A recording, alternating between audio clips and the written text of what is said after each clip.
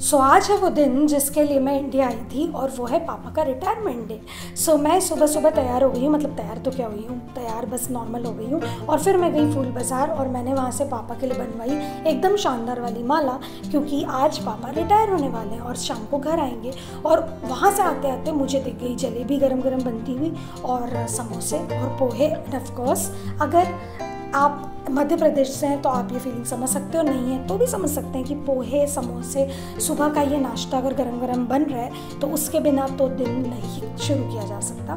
सो so, आज मैंने सोचा क्यों ना ब्रेकफास्ट के लिए ये सारी चीज़ें ले ली जाए। सो so, मैं सारी चीज़ें ब्रेकफास्ट की लेके सीधे आ गई घर और उसके बाद हमने पोहे जलेबी और आ, समोसे का जो है बढ़िया वाला नाश्ता किया। और नाश्ता करने के बाद हम सब हो गए रेडी तो यहाँ पापा जो हैं लास्ट टाइम ऑफ़िस जाने के लिए रेडी हो रहे हैं। और आज पापा के ऑफ़िस में प्रॉपर पापा का फेयरवेल है। सो हम सब वहाँ जाने वाले हैं और उन्होंने पूरी प्रॉपर पार्टी दी है। सो सिद्धांत निकाल रहा है, गाड़ी, मेरी कनू रानी भी हो गई है रेडी और ये रही मम्मी, पापा के साथ जाने के लिए रेडी हमेशा की तरह सपोर्ट में और पापा लगा रहे हैं लॉक और ये हूँ मैं, तैयार। सो हम सभी लोग बढ़िया एकदम चकाचक तैयार होकर निकले। और उस दिन था गुरुवार तो पापा ने कहा, क्यों ना पहले दादाजी मंदिर होकर आया जाए। खंडवा में दादाजी मंदिर बहुत प्रसिद्ध है। आप गूगल कर सकते हैं, अगर आप नहीं पता है आपको तो। सो पापा जो है, हर गुरुवार को जाते हैं और उन्हें सोचा उनका लास्ट डे सो उन्हें बिल्कुल जाना ही चाहिए। आज के दिन। सो हम सब नाश्ता करके निकल गए और हम गए मंदिर। हम मंदिर में दर्शन करने के बाद आ गए पापा की स्कूल। मेरे पापा स्कूल में अकाउंटेंट थे। आई मीन एजुकेशन डिपार्टमेंट में जिसमें बहुत सारी स्कूल्स आती थी। तो सारी स्कूल्स ने मिलकर एक जगह इकट्ठे होकर पापा को विदाई समारोह दिया फेयरवेल दिया। सो हम सब यहाँ आ गए और यहाँ जो है अलग ही आ, कहना चाहिए फीलिंग थी अलग ही सारा माहौल था। क्योंकि क्या होता है हमारे लिए होता है कि हमारे पापा ऑफ़िस जा रहे हैं हमारी मम्मी ऑफ़िस जा रही है। बट जब आप सच में उनके ऑफ़िस में जाते हैं और उनकी वो सारी इमेज इज़्ज़त देखते हैं तो आपको मज़ा आ जाता है। यहाँ मम्मी का भी उन लोगों ने स्वागत किया पापा के साथ साथ। और उसके बाद सारे लोगों ने मम्मी पापा के बारे में ढेर सारी बातें बोली जो कि मैं रिकॉर्ड नहीं कर सकती। Maybe privacy issues and बहुत सारी चीज़ें। और उसके बाद पापा को एक पूरा प्रशस्ति पत्र और सब कुछ मिला।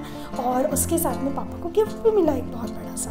सो so, ये सारी चीज़ें हुई और उसके बाद वहीं पर था दाल बाफले लड्डू रायता चूरमा सबका नाश्ता खाना आई मीन लंच सॉरी मैं बहुत ज़्यादा एक्साइटेड हूँ शायद से बोलने में। सो so, ये सब था।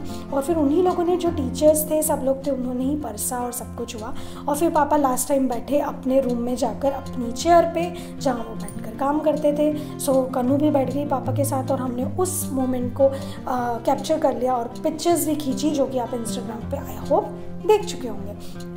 उसके बाद था लास्ट में एंड कि पापा जो हैं वो जा रहे थे। सो सब लोग लास्ट टाइम पापा से थोड़ा सा मिल रहे थे, बात कर रहे थे। लास्ट का टाइम थोड़ा सा इमोशनल हो गया काफ़ी लोग जो पापा से बहुत सालों से जुड़े क्योंकि सेम ऑफ़िस में पापा को करीब करीब तेरह चौदह साल हो चुके थे और उसके पहले की भी नौकरी बट सेम लोगों के साथ रह रहे के थोड़ा सा ज़्यादा हो जाता है। सो पापा को वापस से मालाएँ पहनाई कि जाते जाते पूरी माला पहन के जाओ टाइप से सो पापा भी यहाँ काफ़ी इमोशनल थे, खुद ही अपनी मालाएँ वालाएँ ठीक कर रहे थे। और अब जो है हम सब बाहर निकलेंगे। और यहाँ पापा लास्ट टाइम अपनी जो कर्म प्लेस है उनका उसको उन्होंने प्रणाम किया और उसके बाद हम लोग घर के लिए निकल गए। सो so, मुझे ऐसा लगता है कि जब आपकी बहुत ही लंबी सी नौकरी हो जाती है तो बहुत सारी चीज़ें उससे जुड़ी होती हैं बहुत सारा बहुत मिक्स फीलिंग होती है। सो so, यहाँ उसी मिक्स फीलिंग का एक आ, आ, कहना चाहिए उससे सारे लोग जुड़ रहे थे बातें कर रहे थे पुरानी चीज़ें याद कर रहे थे। आ, जो पापा का हमेशा सामान कार में रखते थे वो लोग इमोशनल थे कि यार लास्ट टाइम हम सारी चीज़ें रख रहे हैं गाड़ी में और सब कुछ। सो so, ओवरऑल बहुत ही अलग स्पेशल और इमोशनल मोमेंट था। उन्होंने पापा की कार को भी मालाओं से सजा दिया था। तो वो थोड़ा सा और अलग सा हो गया था। और बस इस तरह सारे इमोशनल चीज़ों के साथ और एकदम ऐसा लग रहा था हम कहीं बहुत ही पापा को सबसे दूर ले जा रहे टाइप से। बट खुशी थी कि अब पापा का पूरा टाइम हमारा होने वाला है। और यहाँ जो है फाइनली ऑफ़िस से पापा की विदाई हुई और उसके बाद घर वाला मज़ा स्टार्ट हुआ। सो यहाँ हमने ढोल मंगाए थे और हमारे परिवार के सारे लोग इकट्ठे हुए थे। सो so, मैंने जो जैसा था वैसा ही रॉ सब कुछ डाला है। सो जस्ट इन्जॉय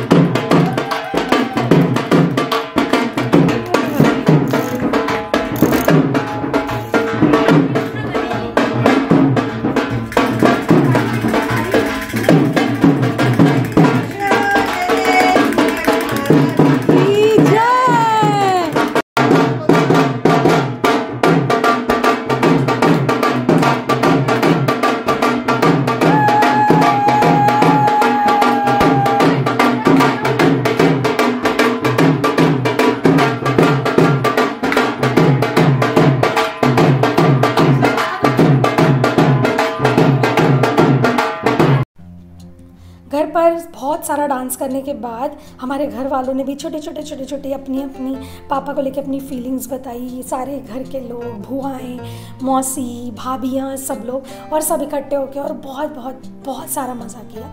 तो जो है ओवरऑल बहुत मज़ा आया। सबने अपनी बातें शेयर की, पापा के साथ अपनी पुरानी यादें शेयर की, आगे सबके क्या क्या प्लान है, पापा को लेकर वो शेयर किया।